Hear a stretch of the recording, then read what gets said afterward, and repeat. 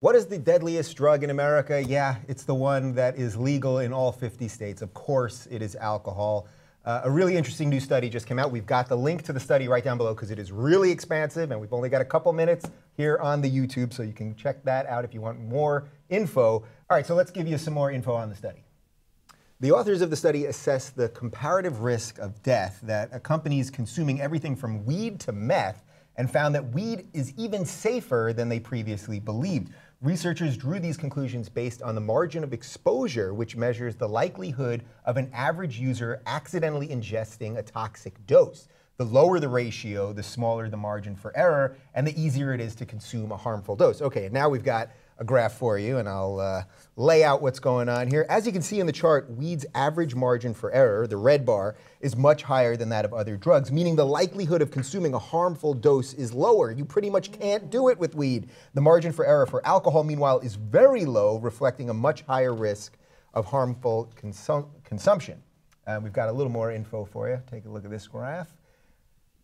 Whoa. The government Centers for Disease Control and Prevention study of drug mortality rates, which tallies confirmed causes of death, puts a fine point on how obviously backwards these drug laws have become. And here's where you can see that very, very clearly. What are people dying of? Tons and tons of people dying from tobacco, tons of people dying from alcohol. Look at that uh, number on the right.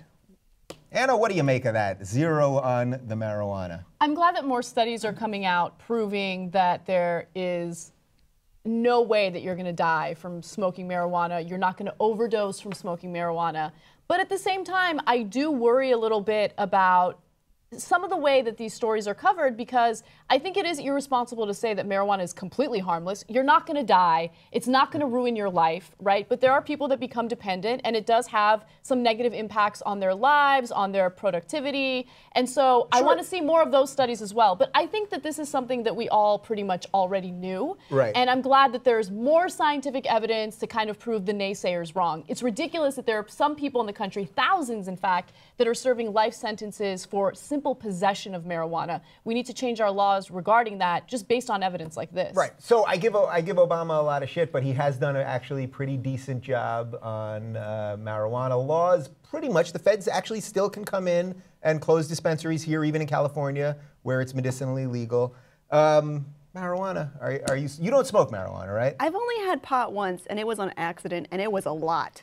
So did you eat it? Was it edible? So okay, I was at somebody who was a host on this network's party, and Damn. there were these brownies, and I thought they were regular brownies. So I had four, and oh my god, shit got weird after oh. that. So I mean, you must have been like tripping balls. I no, no, that's not funny. That's too much. No, I know. That's funny. Yeah. I, I remember taking an edible, and I thought I literally thought I was gonna die, but yeah. I had to keep reminding myself it's just marijuana. It's just marijuana. It's I just felt kind of weird. I didn't. So I, even that, I think, is the point, and even your yeah. part with edibles for yourself, that you did it, right? And did you want marijuana the next no, day? No, I'm done. Like, yeah. I so don't need doesn't marijuana. that prove why it's not that dangerous? I, I, well, Ana's right. It's not completely harmless. Like, I did feel like I shouldn't drive after this. Yeah. yeah. But, you know, I, I, didn't, I don't think I was in danger of dying. I don't feel like I'm in danger of being addicted.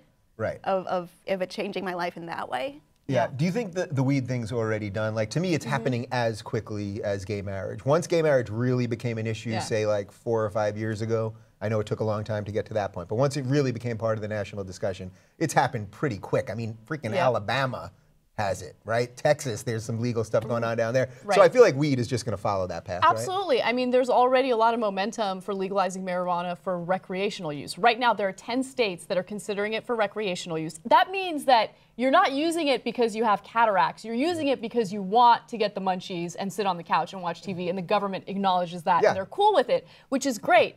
Um, but I mean, think about this: Washington, Colorado, now Alaska, Alaska, D.C., Oregon. These are all places in the U.S. where you can purchase and consume marijuana for recreational use, and I think that's a good sign. Yeah. Does do the weed people need lobbyists? Like to me, it seems like more. I think they're getting some lobbyists yeah. now, um, and we've already seen that in Colorado, the tax revenue is great. So it's to me, this is something that Republicans should be for because if they really are for small government, you wouldn't care what someone smokes in their bedroom, right? And you'd be finding another way to get taxes. I think a lot of this is just misinformation, like the, the pervasive thoughts that oh, it's scary, it's bad, stay away from it, it's awful, you know, but it, it, I think this is all based on a very old propaganda campaign. So, you know, maybe we do need some lobbyists for this cause. Yeah. So then, actually, should we be? Are we talking about this in reverse? Should we really be talking about how bad booze is? Like, I'm not saying we should Absolutely. be going for prohibition again, Absolutely. but we don't really talk about that at all. Those deaths are through the roof: drunk driving, et cetera, et cetera. Yeah, I think that we have a problem with tobacco deaths and alcohol deaths. Both substances are completely legal in the country. Of course, they're regulated to some degree,